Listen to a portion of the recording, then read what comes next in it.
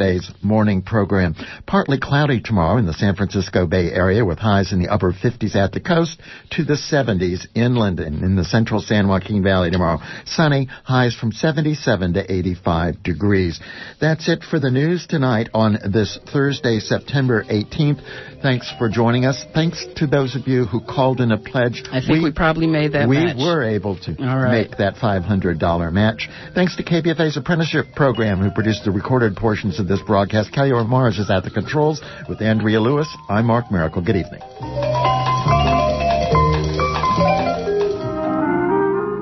From Iraq to Gaza, award winning journalist Robert Fisk reports in a way that is witty, passionate, and subversive.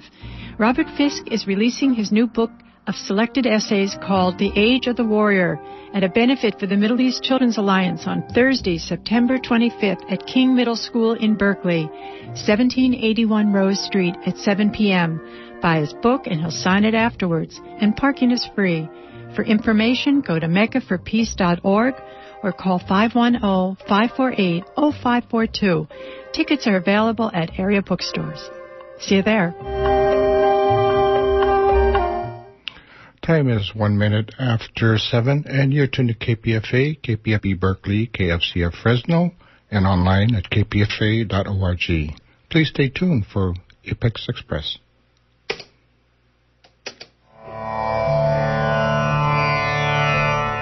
Apex Express, Asian Pacific Expression.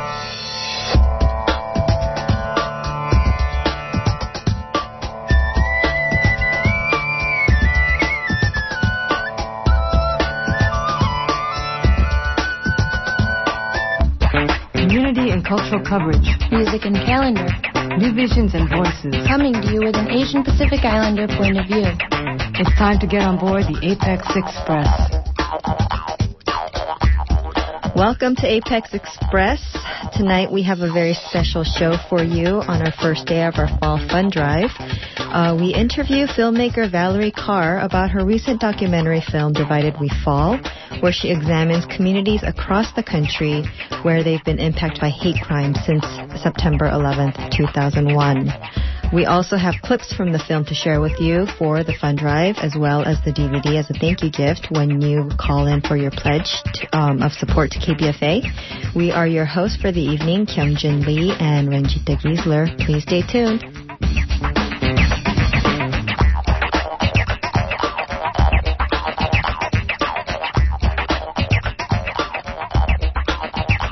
Divided We Fall is the first feature-length documentary film on hate violence following the September 11th, 2001 attacks. And we're going to hear an interview with Apex producer G with the filmmaker about the larger question of the film, who counts as American? Let's take a listen. Divided We Fall, Americans in the Aftermath. This is a film that will be showing all across country around the time of September 11th.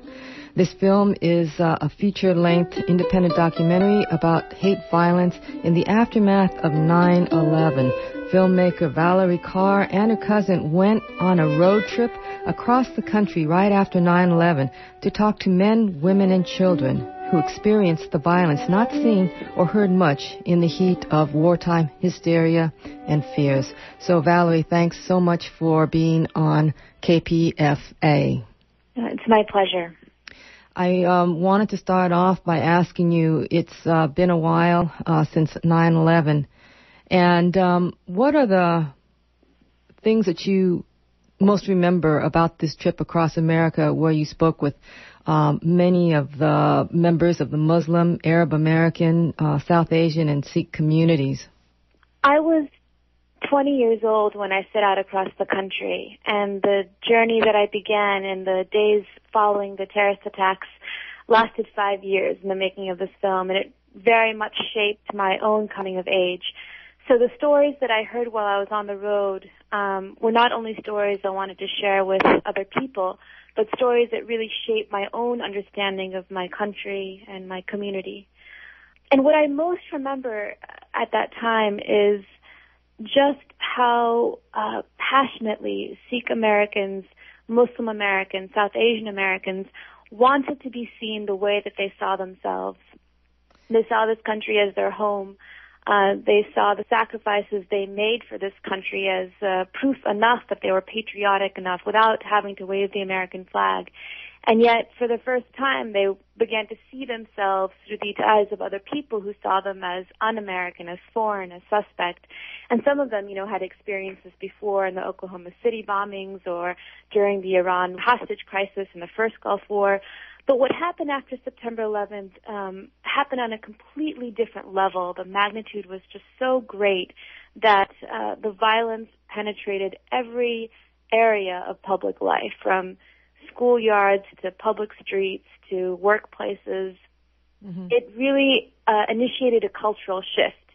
And for me, as a kid, you know, just figuring out who I was uh, to begin with, um, it was a, a sort of shock to my system to realize that I had to struggle, I had to fight to be seen for how I saw myself. And and my story is really different because my my grandfather had come by steamship from Punjab, arrived in California in 1913, so almost 100 years ago.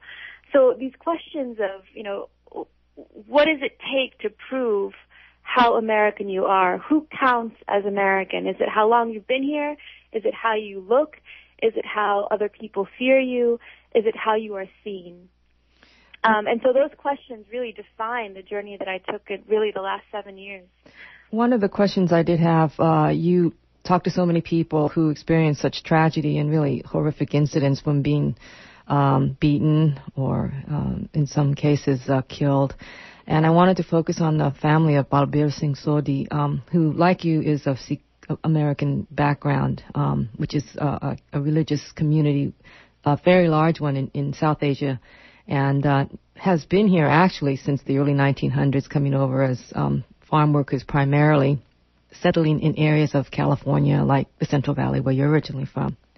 And one of the uh, religious, um, uh, I guess, uh, the turbans, when people men wear that, is a part of uh, the religious uh, belief for some of the men.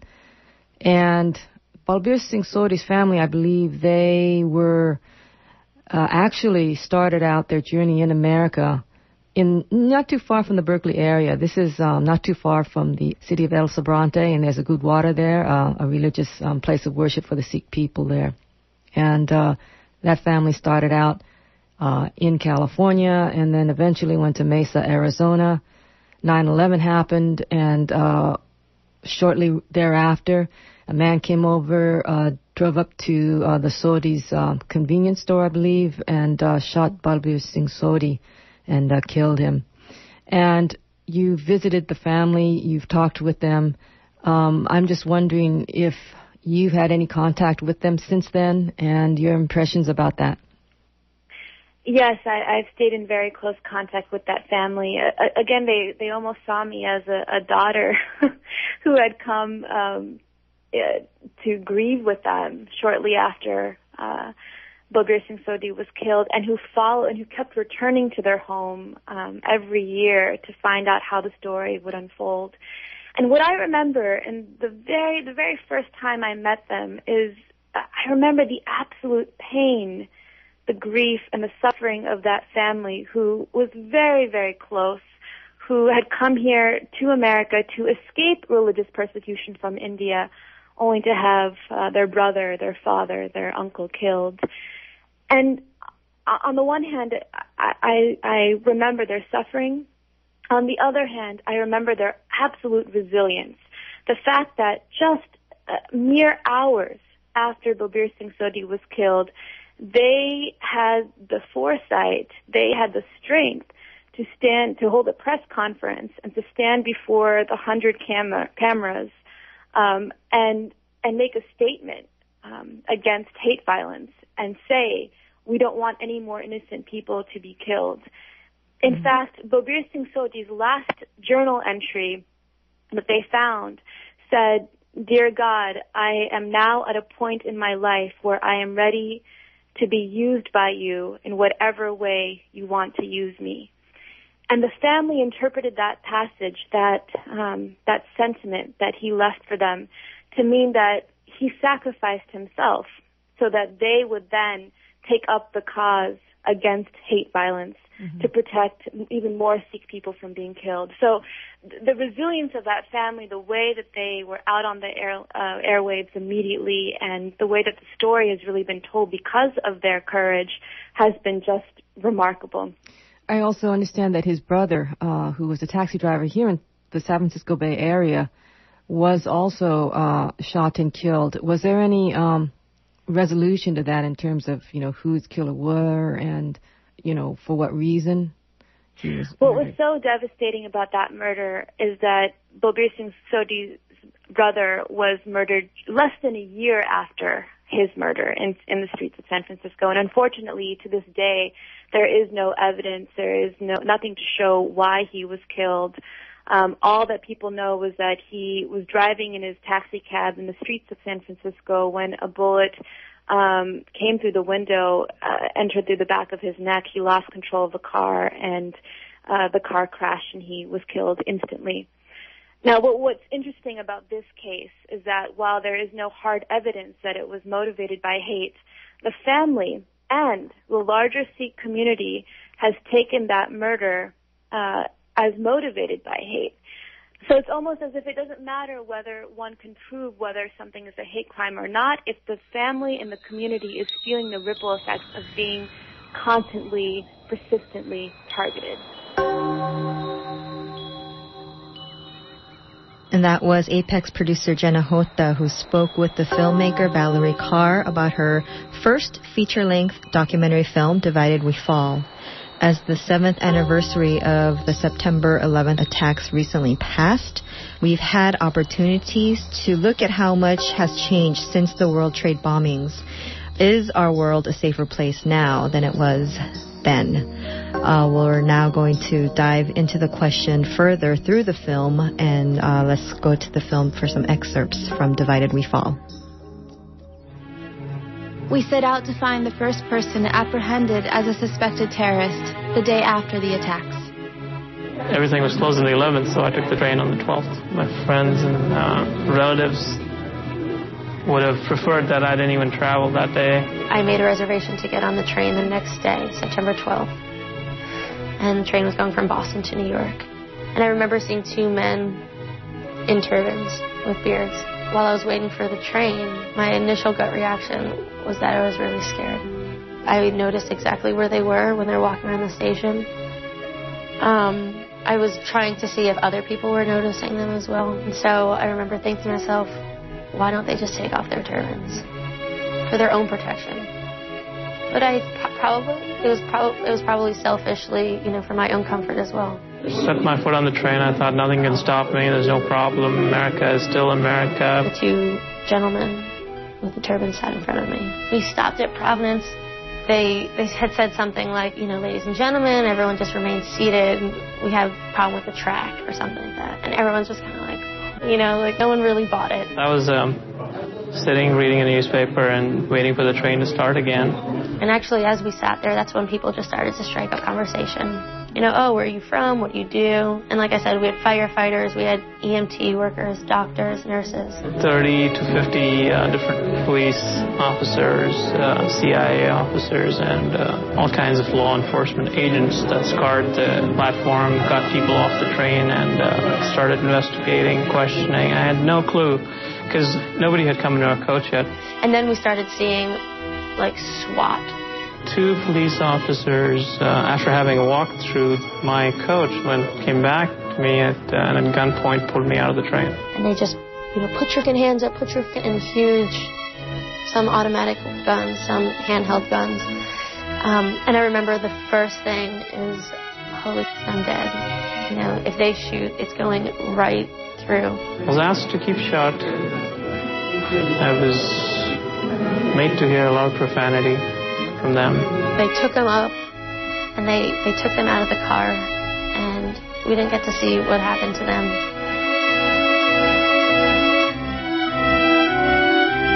I was made to feel uh, in those few seconds that as if I had uh, committed some horrific act, and I was somehow so closely linked to it. Sher Singh was arrested just because he looked suspicious. He was released within hours of his arrest, but his face was broadcast as a suspected terrorist for days. One of the things that's interesting to me is just how quickly people identified those representatives of the enemy, even when they weren't in any way related. And people began to attack those individuals. Hate crimes, oppression, discrimination, the most horrible statements about people who were darker skinned, people who wore turbans, people who resembled the Middle Eastern individuals who were responsible for the violence, apparently. Those people who resembled those enemies became targets. And so we saw incident after incident that indicated that. They were indeed targets. Within the first uh, couple of weeks after September 11th, there were more than a thousand reported incidents of, of hate crimes, um, murders, assaults, uh, people being mowed down with cars, vandalism of mosques and gurdwaras and other places of worship. And I'd never experienced anything like that. You know, wanting to know every day that every member of my family had gone to work and come home okay. You know, it was weird. It was like, why is there a war against my family today? You know, what did we have to do with any of what has happened? Um, but somehow we were like involved at this very intimate level and and we hadn't done anything. Um, and that's true of my entire community. And so to be a lawyer at that time in this community when there are very few lawyers, you just, it, I, I ha- you felt the need that you had to do something. We were desperate, so I would basically roll out of bed. I had a TV, I had computer, a, a telephone. I would call people who had uh, uh, who had reported hate crimes. Um, we'd set up a website the next day. So September 12th, 2001, we set up an online database for people to report hate crimes. September 15th, the Saturday after 9-11, was the first day that most of the Sikhs here in the city decided to leave their homes. We had a vigil for the victims in Central Park on the 15th. So a lot of us left the house for the first time on the 15th. Otherwise, people here were scared to leave the house. It was, uh, you know, very depressing. So, because we, we knew it would happen. You got a call on, on the 15th uh, 7 o'clock uh, at night saying there's been a death in, in Arizona. And I said, confirmed? He said, yes.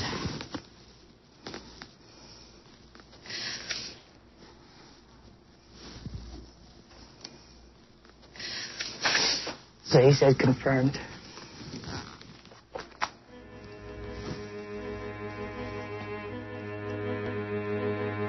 First, we have some developments in an attack that happened right here it in the involves valley. a member of the Sikh community. Very well be the country's first deadly act of misplaced revenge to Tuesday's the man killed in attack on yesterday's shooting America. immigrated to the U.S. and Phoenix looking for a better Suspected life. hate crime right here in the valley. A valley. Mesa gas station owner was gunned down in cold blood by a man who may have targeted him because he was wearing a turban. News of the violence shocked Balbir Mesa. Singh Sodhi was well known and well liked in the neighborhood surrounding his convenience store. I'm ashamed that this was the first state to show ignorance and stupidity.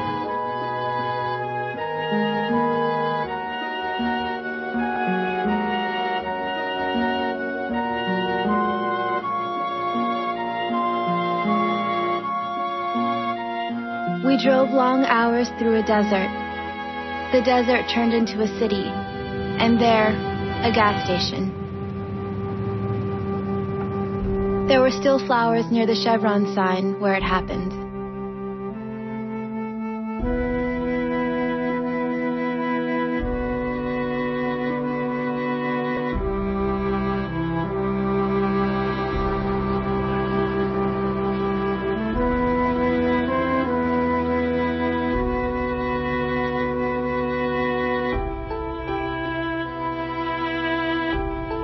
People were putting the landscaping that day. My brother talking to the landscaping guys. Somebody bring their car behind my brother and shoot five times in the back. He went uh, with us to drop us at the airport. He said, I want to spend more time with my children. And that's the last time I saw him at the airport. So he's no more. And that's just like a terrible moment of my life. Mean, I couldn't believe that.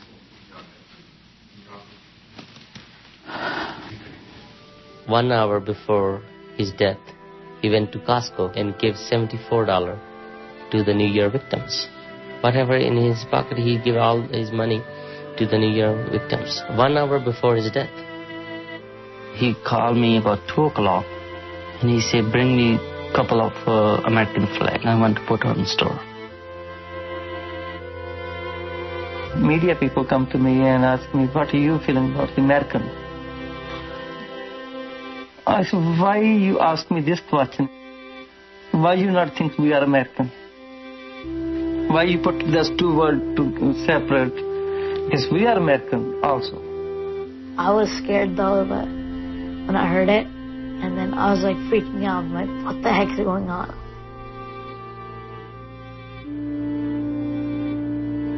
The thing that stands out the most to me on that day, right after the shootings occurred, when me and my wife went down uh, to be with the Sikh community, is looking into the faces of the children and to realize what must be going on in their minds. And so together, as the Arizona Interfaith Movement, we really are committed to stand against hate and intolerance. During this High Holy Day season for Jews, when we are compelled by our tradition to look within, to search our souls,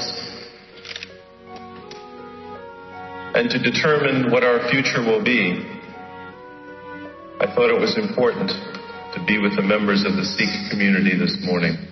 The guilt by association is not a right thing. Racism is not right. Prejudices are not right. We have to eliminate prejudices. We have to eliminate the hate. We have to bring love, peace, and harmony. Being a Christian, I really feel like God will always bring something good out of a tragedy anyway, so. This, this is uh, condolence letters, just some of the condolence letters to the community and to the family. And this one uh, says, A few days ago, I read in horror about what happened to Mr. Sodhi. I choked back tears as I read that Mr. Sodhi has tried to find a flag to fa- fly at his business. With this letter, I have sent two items which are priceless to me. This flag was used to honor my father at his funeral. He served in the U.S. Army for 21 years. During this time, he worked as a medic in Korea and during two rotations in Vietnam. In my eyes, your father deserves his flags as much as any soldier. He had courage to go to work in spite of the danger imposed by the ignorance of others. He was good and he was kind, and in my opinion, he served our country as faithfully as my father. It's always tough. You can't forget your family member is gone, and life is very tough without. This should not be happening anymore to anybody. Look at uh, my sister-in-law. She doesn't. She want to stay the whole life without him. That's so painful.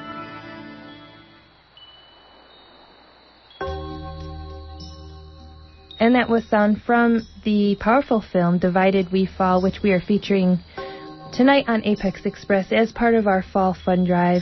And it's a very important time to support KPFA and Pacifica. And you can call in your support right now by calling 510-848-5732 or 1-800-439-5732. And I say it's an important time because there is a lot happening out there locally and abroad and there's a lot of in, intense violence happening around the globe. And we ask you to call in your support of $100 now and receive as a thank you gift this DVD. And as the economy takes a turn for the worse, I'm sure you're all feeling the pinch as we are here as well, and your purse strings are tightening up. All the more reason to call in your support to help keep the important stories on the air like you're hearing this evening, like you hear every week here on Apex Express, uh, brought to you by community members like us um, going to you. Uh, now more than ever, the world needs a healthy and vibrant Pacifica and KPFA. So please call in 510-848-5732 or 1-800-439-5732 and receive a copy of the DVD Divided We Fall for a pledge of only $100. And as you know, your pledge, your support to KPFA and to Apex Express is critical at this moment. We have a national election coming up in less than two months. We uh, and every week we share uh, perspectives from the Asian Pacific Islander community about not just the elections, not just the Olympics that recently occurred, but about commun- local community events, national events, and world events. And this is the time to support Apex Express and KPFA by calling 510 848 5732 or 1 800 439 5732. And for a pledge of $100, you can get your own copy of the film Divided We Fall, which I'm sure as you were moved, as you heard the excerpts, as we were moved by the, the, the, the um, story of Mr. Sodhi and of the Sikh community who um, suffered tremendously because of their skin, because of their, uh, you know, seemingly being uh, considered Muslim. And you know, I'm, st- I'm I know that we're still all dealing with this today. So please call in now to 510-848-5732 or 1-800-439-5732 and for a pledge of $100 you can receive your own copy of this very powerful film Divided We Fall. And not only have we seen violence increase since the attacks of 9-11 against members of the Sikh community, the Muslim community, we've also seen it here closer to home. And some of you may be concerned about donating to this station at this time if you've heard about the recent events that unfolded at KPFA with the cops being called in by members of management to remove a longtime programmer and first voice graduate Nadra Foster. We strongly believe that the cops should not have been called. We also must figure out a way to hold the culture accountable for the incident, and many people here are doing that on the inside and the outside of KPFA. We also have to move forward and keep things going so that we can create change in the world, cultural change here, and we believe it can be done. KPFA is a resource, a great resource with great potential, and many of us here recognize that we must keep going. And you can Help us keep going by calling in your support for the good programming that KPFA does, the good people who work here, and for the wonderful resource that KPFA is. So please call in now at 510-848-5732. You can donate any amount of money which will help keep us going at this time. 1-800-439-5732. There are many thank you gifts you can choose from, but the greatest, of course, gift that you can get is the information KPFA provides you daily. Again, the number is 510-848-5732 or 1-800-439-5732. And for a pledge of $100, you can get this excellent DVD, very informational, very moving. As Rain said, you can get your own copy of the film Divided We Fall and uh, you can get that by calling 510-848-5732 or 1-800-439-5732. And every week you listen to Apex Express and you hear the stories that you come from the communities, that come from international communities, national communities, local communities, about the issues that we deal with every day, about the poverty and the violence that we see and how to rise above, rise beyond what we have to deal with and come together in union. And this is an excellent way to do this um, by supporting KPFA through us. You are contributing to um, uh, unifying our voice as progressives, as leftists, as Democrats, as Greens, as whatever you want to call yourself. So please call 510-848-5732 or 1-800-439-5732. And as Rain mentioned earlier, it doesn't matter how much you pledge, whether you can afford to give that $100 for a thank you gift copy of the, the wonderful film Divided We Fall, or if you can contribute $25 and become a subscribing member, member to KPFA with full voting rights, we would appreciate and thank every amount that you can donate to KPFA. And you could do so by calling 510-848 5732 or 1-800-439-5732. But we highly encourage you to call in with a donation of $100 and check it, check out this film, Divided We Fall. It's an amazing, powerful story about how people, um, fall victim to the racism that we all can engage in every day and how we can rise above and learn and teach ourselves you know and check ourselves how we how we can fall into this stuff and how we can rise above it. And you can you can check it out for yourself by calling 510-848-5732 or 1-800-439-5732 let's go back to the interview with apex producer g who has spoken with the filmmaker Valarie Kaur and this is apex express on kpfa 94.1 fm we're going to go to part two of the interview. We'll be right back. These, you know, murders right after 9/11, about 19 that have been documented, that doesn't include uh, the harassment and uh, other cases of hate, of violence, you know, in the the, the years after 9/11.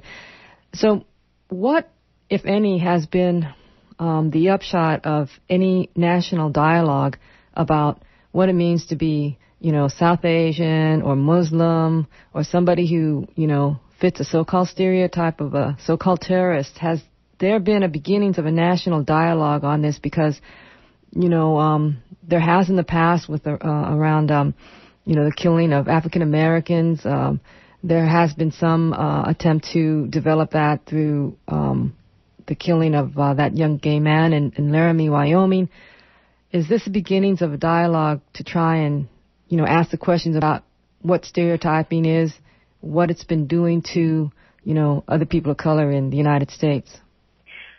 Unfortunately, there hasn't been the kind of national dialogue around the hate crime murders of Matthew Shepard and James Byrd that you saw in the 1990s. Um, and yet, even seven years later, um, we haven't, as a country, come together to redeem that time, to understand what took place, and to take a stand as a country against it. That said, you see efforts on the ground here and there by new civil rights organizations like the Sikh Coalition, like SALDEF that have emerged to fight for the rights of these communities. You see um, teachers willing to to, to teach uh, material to their students in ways that they never had before. You see pastors and community leaders begin to take an effort you see, um, just with the experience of traveling with my film, I have been hosted by the lesbian and gay uh, human rights groups. I've been hosted by um, the Episcopal Church. I've been hosted by um, evangelical groups. I've, I've been hosted by groups that would never have come together otherwise that are now beginning to see that the only way they can begin to change the country is by coming together and, and and building coalitions. Um, and I just want to share my own experience on the road, uh, traveling all across the country through the Midwest and the South. I have began to witness something that completely shocked me. The film would play, and it's mostly stories about Sikh Americans, Muslim Americans, and a gay man would stand up in the audience and say, just as I have to fight for the right of gay people to come out of the closet, so too I have to fight for the right for Sikhs to wear their turbans. I, I would see uh, an African American man stand up in the audience and point to his braids and say, "My braids are my turban." Uh, an evangelical Christian stood up in the South and told me, "You know, you and I have a lot in common. I too have been seen as an outsider." And what I began to realize is that what all of us have in common is that we all want to be seen for how we see ourselves. That whether, you know, we are natives here or we immigrated here, that, or whether we were forced to be brought here, that all of us at some point in our ancestral history or in our own lives have been seen as outsiders and that we all have a common stake in this fight to be recognized, to expand that circle of who counts as American, who counts as one of us. And this gives me incredible hope tremendous hope for the future. Mm-hmm. I know you've um, been taking this film, Divided We Fall, across country to begin this dialogue about uh, race, racism, and uh, what people can do about it uh, in, a, in a wartime, war-minded um, period of American history. But uh, in that time, um, are there any other uh, cases or issues that have come up that um, need to have more attention brought to it and just didn't have the time to cover it in your film? Yes, certainly um, immediately after 9/11, when I approached Muslim communities about the stories of detention and deportation, many Muslims in the immediate aftermath of 9/11 were too frightened to speak on camera. There was just so much at stake, and what we see, um, what we see. Uh, what we see after 9/11 is two types of violence. One is uh, the private violence, citizen against citizen on the ground, and this is mostly what my film covers. But another is public violence, and that's the kind of violence that has been perpetrated by government policies and programs that have targeted Muslim and Arab Americans and non-citizens. And as we see an administration hopefully change hands, we, I think these stories, the way that law has been perverted, the way that there have been zones that have been created where human rights no longer exist, hopefully these stories will begin to come out as we all fight for the soul of our country, the magic of our Constitution, and restore what has been lost in the recent years.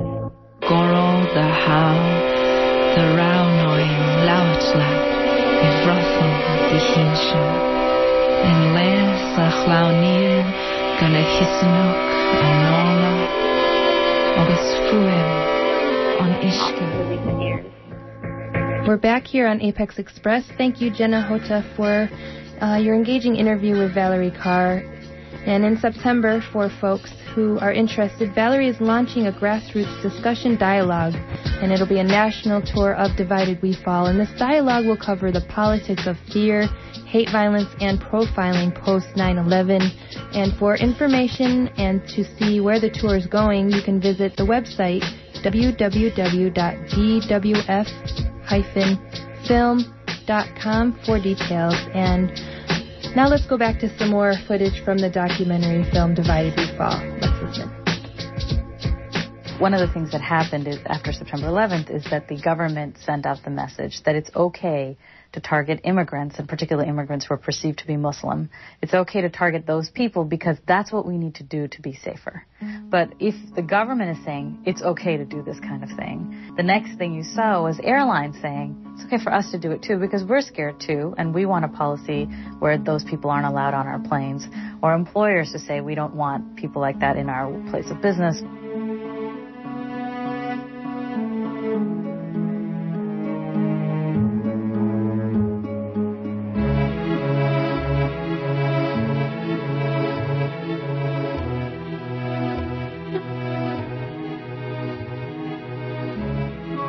And it kind of creates this myth, if you will, of saying that certain people are responsible. So it's okay for the government to target them, it's okay for businesses to target them, and then eventually it's okay for individuals to target them. We headed to San Francisco, where we met the latest victim of guilt by association. This time, a white Australian. And we were crossing the street towards the bar. We were St. Townsend, we were just outside. Right here, in fact, at this intersection right here. And we were crossing the street towards McDonald's when this guy came, a group of people crossing the road. And they were just a group of uh, white, they're all whites, all dressed very well. Four guys, uh, five guys, four girls. All dressed very well, all, all looked happy, looked like a bunch of friends out having a great night. One member of the group changed the direction that he was walking in so that he intentionally came between Sean and myself and he intentionally rammed into us um, very, very hard. I mean, he knocked, knocked Sean and me um, right out of our way. And then the kids went, walked out here, and then Robin turned around and ran and asked the guy why he did it. His uh, exact words were, because you're a white nigger lover and your friend's an Arabic asshole. Those were, that's his answer to why he knocked into us on purpose. One of his friends came in and hit me, and then another one came in at an angle I couldn't really see him coming in, and uh, he stabbed me. That's where he stabbed me. Uh, I think he used a screwdriver.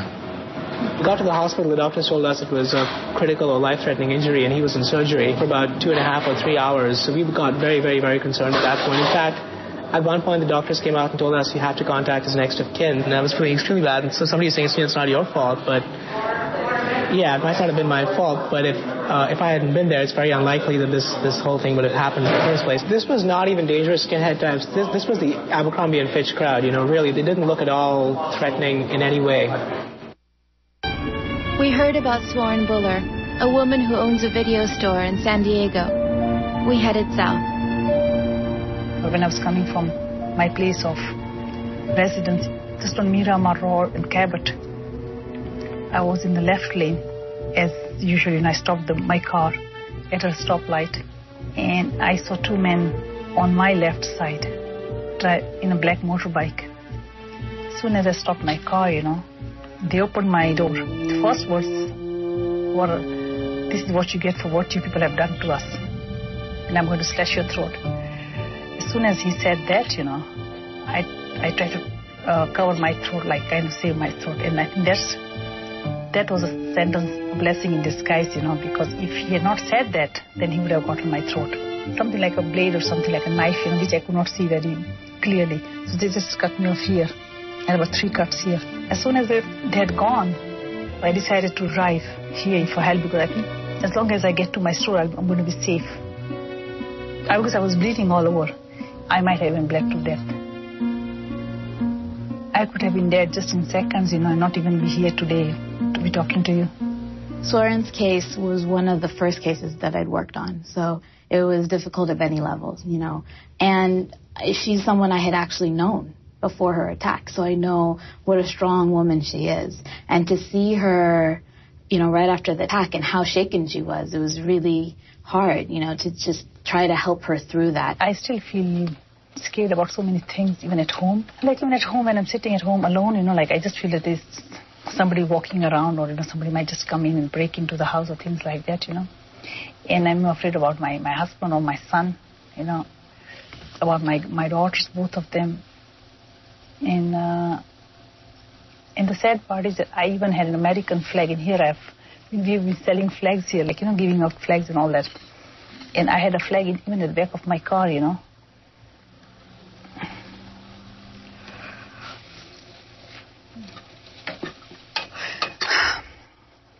Life is too short, I think, you know, and uh, there, there's so much hatred in them. They just want to get somebody who is brown. As we navigated different Muslim communities, we met a Muslim boy in San Jose.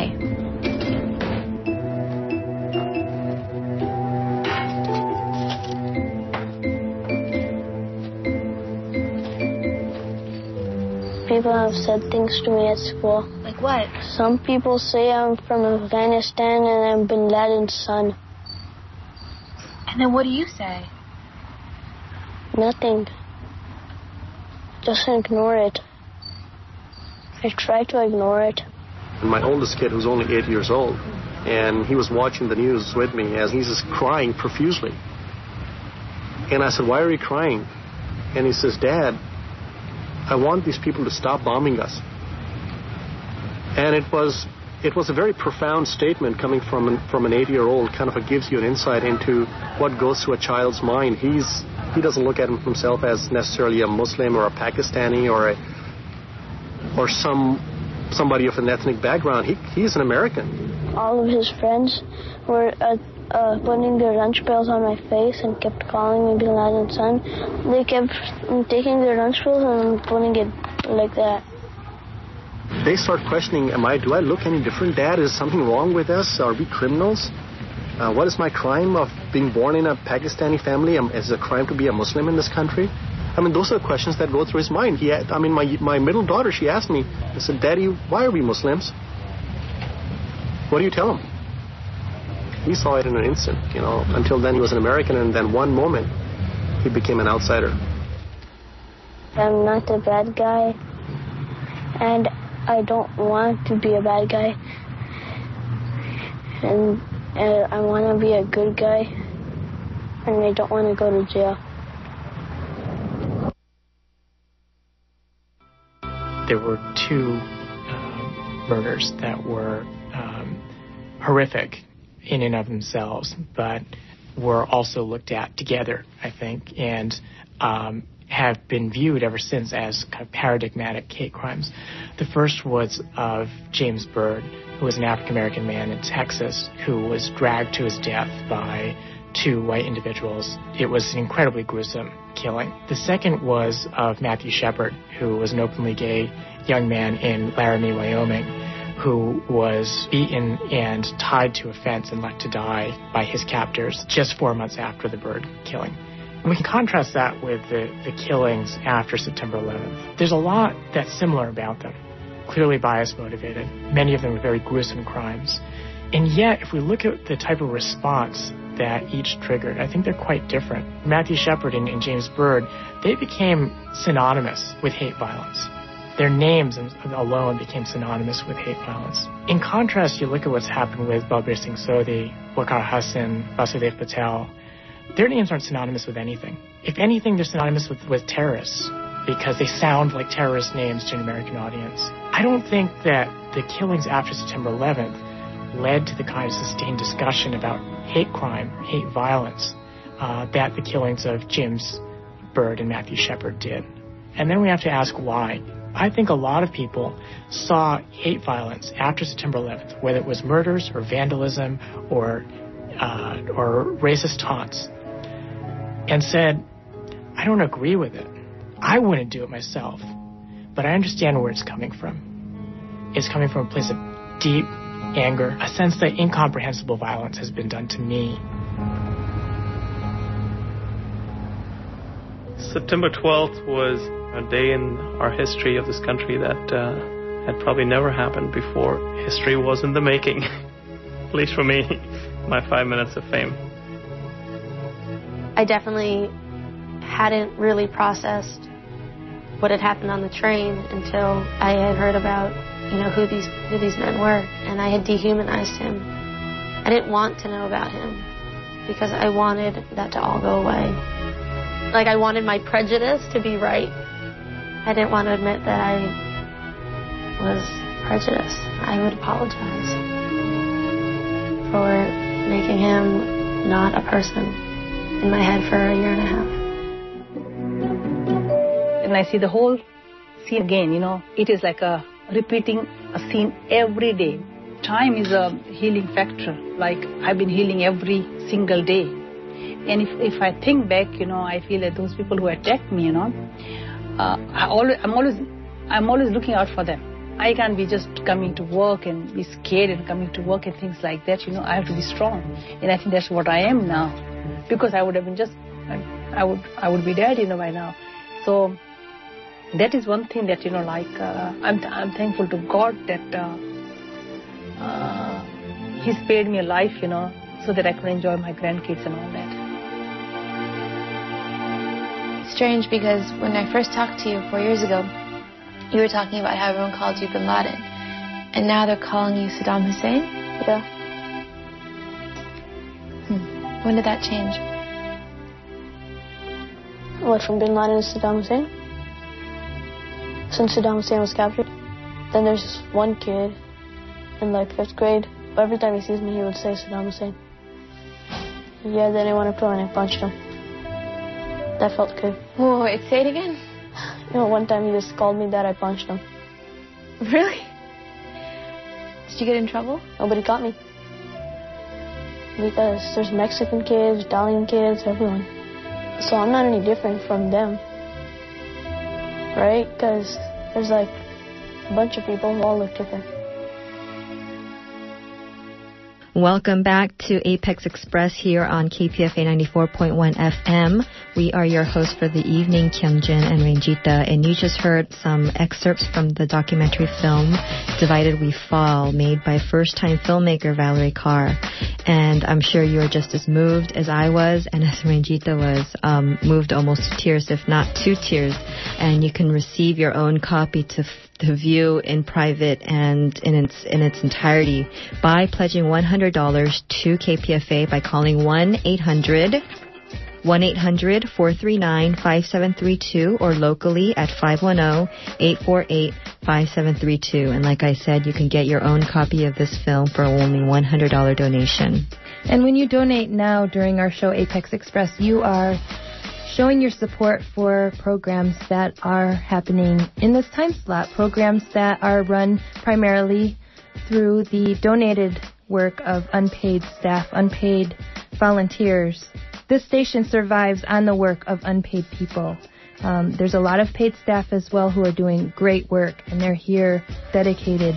We have to also acknowledge and honor the unpaid staff who keep this station going through their through their work. And when you do call in at 510-848 5732 or 1-800-439-5732, you are showing your support for not only KPFA, but also all the work that goes on behind the scenes to to bring you the stories and the news that you find engaging, that you that has helped your life in some way. Call in your support of of $100 to get this DVD, Divided We Fall, and there are different ways to pay. You can do electronic funds transfer every month through our secure system, or you can pay uh, in installments. Choose whatever works for your budget right now. Just pick up the phone and call 848-5732, 1-800-439-5732. And we all know and we all see and we all feel what the downturn in the economy is doing. Um, I myself am only working part-time. I can feel it. Yeah, I'm sure hard. you can feel it too. We all have to pinch a little bit more every day than we did the day before. Uh, but we are asking your support for however much you could contribute for programming like Apex Express. So please call 1-800-439-5732 or 510-848-5732 and pledge in any amount of support that you can, you feel comfortable with, that you feel good about contributing to a progressive station like KPFA. And for $100, you can get your own copy of this amazing film, uh, Divided We Fall, produced by first-time filmmaker Valarie Kaur, who herself is Sikh American and traveled throughout the country to document the hate crimes that had um, befallen Americans of all colors, of all races. And uh, it's uh, she makes an amazing an- analogy of the, the suffering that the Sikh community faced.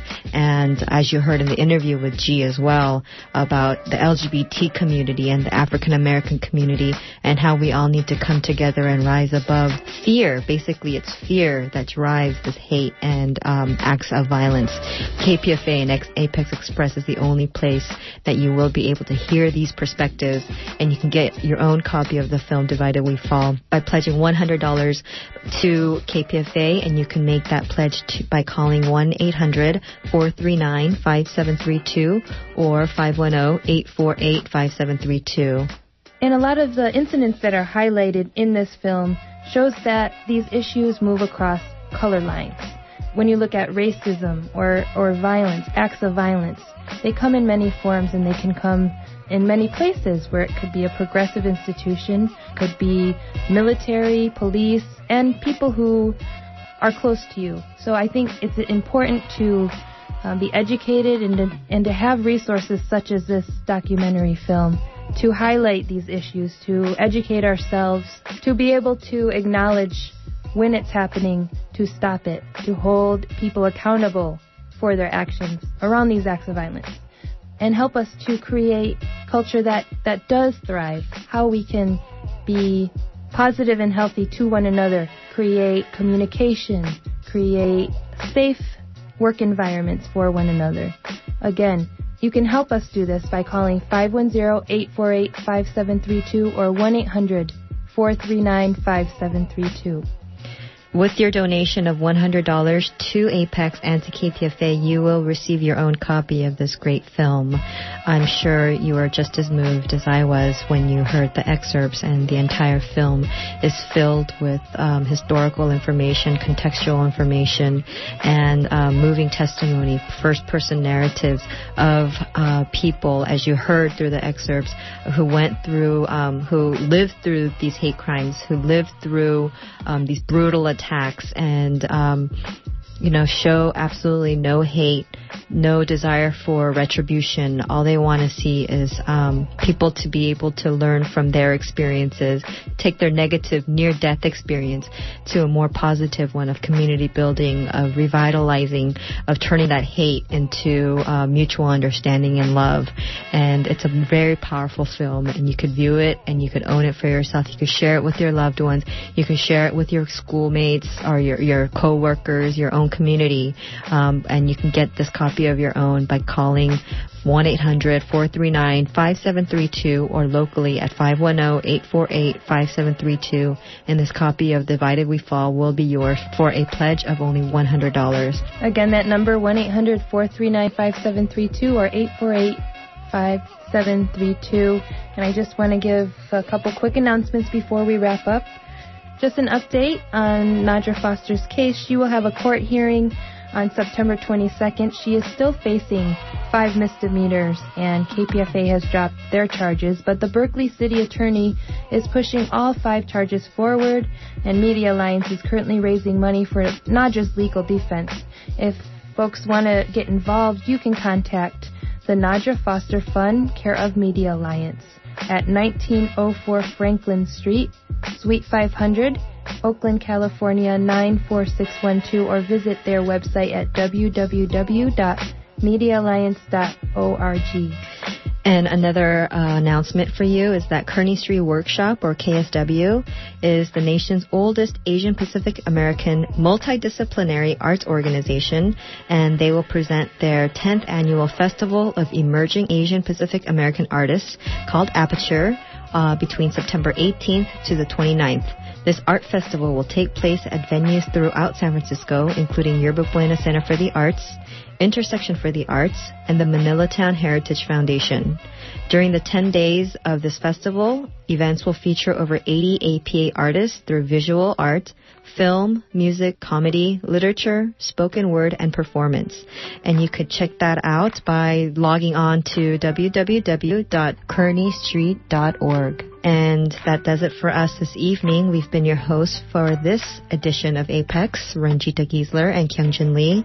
We want to send a special thanks, shout out to our very own Eddie Pei, who's working the board, Thanks, hard-working man, and to uh, G, our regular contributing, hard-working producer for conducting the interview and always um, helping out. Thank you so much. Before we close out Apex, we're going to go to this with this song off the album Bridge Across the Blue by a featured artist who's going to be at the Aperture event. This is Parini Sundaranlingham, and again, the album is Bridge Across the Blue. Thanks for listening. Ennalinda paseye pesa mudiamana, taimoli tamalil pesa vein, tain molli, sivanda nakuhu, mulakathin keithanga, ningale en elpiku arukuli.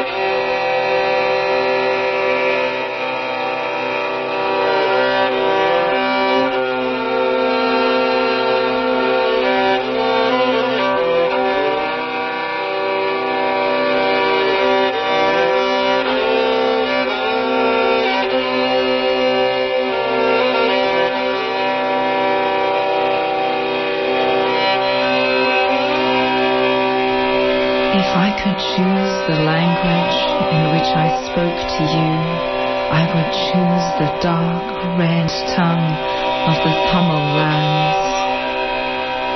The yearning notes, the desert drone, the heated hum of the monsoon rising.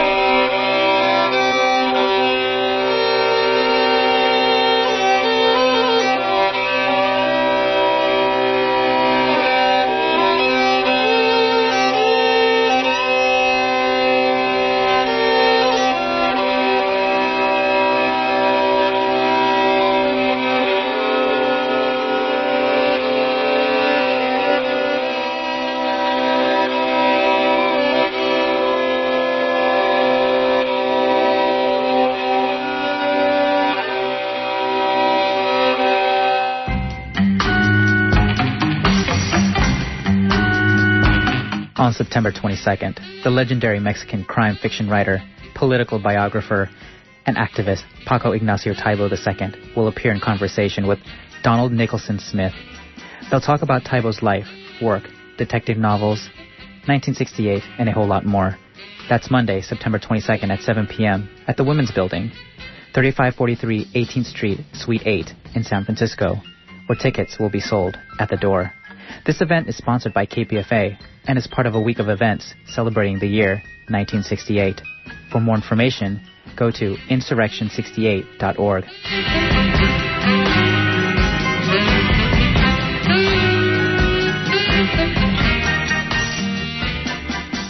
This is KPFA or KPFB in Berkeley, KFCF in Fresno. It's